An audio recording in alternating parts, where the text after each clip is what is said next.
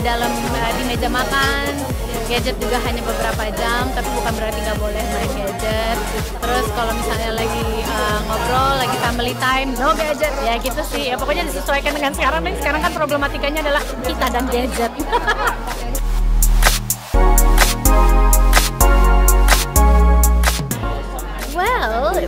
bagaimana ya ngelihatnya ya?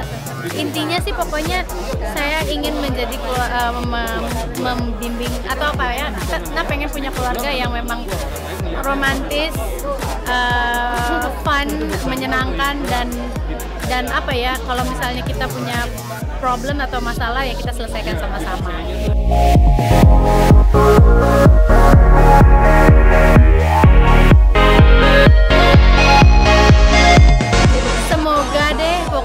intinya sih uh, Nah seneng banget ada yang mengangkat uh, atau yang membuat film mengenai value keluarga.